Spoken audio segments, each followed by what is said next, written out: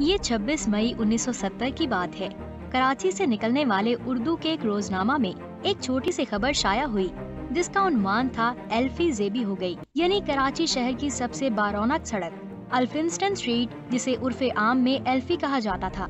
उसका नाम जेबुन निसा स्ट्रीट रख दिया गया। आज बल्दिया कराची की तरफ़ से उस सड़क पर जेबुन निसा स्ट्रीट के बड़े बड़े बोर्ड्स नस्ब कर दिए गए हैं। ये स्ट्रीट हमेशा से खातन की शॉपिंग का सबसे बड़ा मरकज रही है। एल्फी और कुर्बो जवार के इलाकों, बहरी बाज़ार वगैरह में जो चहल पहल रहती है, वो किसी दूसरे इलाके में नहीं होती। मजीद डिस्कशन से पहले वीडियो को लाइक कर दें और चैनल को सब्सक्राइब कर दें।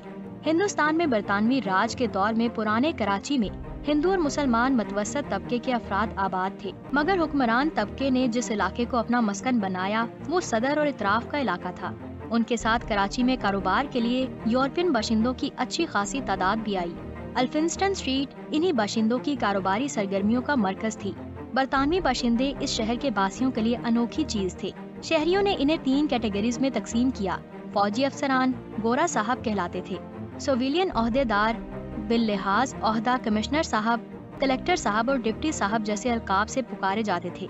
और वो बरतानवी या यूरोपियन जो कारोबार करने आते थे बॉक्स वाला साहब कहलाते थे, इसलिए कि वो अशियाए सर्फ के डब्बों या कॉटन को बॉक्स कहते थे, जो उनकी पहचान बन गई अल्फिंसन स्ट्रीट में बॉक्स वाले साहबान की बेशुमार दुकानें थीं।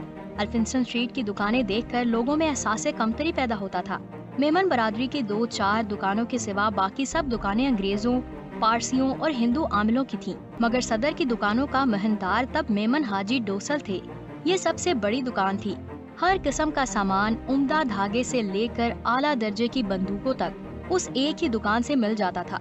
अलबत्ता दुकान में दाखिल होने से पहले बूट साफ़ किए जाते, कोट के बटन बंद किए जाते और दाढ़ी मूछों को हाथ फेर कर दुरुस्त किया जाता। क्योंकि अंदेशा होता कि अंदर दाखिल होने पर किसी अंग्रेज़ अफसर से सामना न हो जाए। लोगों को अंग्रेज़ों के अदब के तकाजे हर वक्त और हर जगह याद रहते। डोसल की दुकान एक इदारा थी। सिंध के तकरीबन तमाम वडेरे, मीर और पीर उस दुकान के मकरूज होते थे। और फ़सल कटने पर साल भर की कमाई का बड़ा हिस्सा इन्हें डोसर का उधार चुकाने में सर्व करना पड़ता था। उन लोगों की नज़र बंदूकों, कारतूसों वलायती बिस्किट्स और खुशबूदार साबुन पर होती थी और इन जिनसों की डोसर के पास कोई कमी न थी। कुछ अफराद शाम के वक्त डोसर की दुकान के बाहर मेहराबदार चबूतरे पर कुर्सियाँ डालकर बैठ जाते थे कि कोई अफसर या उसकी मेम गुजरे तो उठकर उसे सलाम करें। एक लिहाज से डोसल की दुकान के सामने बैठा इज़्ज़त की निशानी समझा जाता था। अल्फिंस्टन स्ट्रीट में जे ब्लस दुकान यूरोपी तर्ज में आरास्ता की गई थी। एक बार सिंध के एक रूहानी बुज़ुर्ग कोई चीज़ लेने उस दुकान में दाखिल हुए। मुरीदों को मालूम हुआ तो वो लाठियाँ लेकर आन पहुँचे और उस दुकान के शीशे तोड़कर उसके टुकड़े तबरुक के तौर पर अपने साथ ले गए। बुज़ुर्ग ने बल्स को उस नुकसान का मुआवजा दिया और बल से ये वादा किया कि वो आइंदा उसकी दुकान में दाखिल नहीं होंगे। दोस्तों, आज के लिए इतना ही। आपका इस वीडियो के बारे में क्या कहना है? अपने कीमती राय का इजहार हमारे कमेंट बॉक्स में ज़रूर करें। मजीद ऐसे इन्फॉर्मेटिव वीडियोस देखने के लिए हमारे यूट्यूब चैनल को सब्सक्राइब कर दें। इनशाला जल्द ही मिलेंगे एक नई और इंटरेस्टिंग वीडियो के साथ। अब मुझे दे इजाज़त। अल्लाह हाफिज़।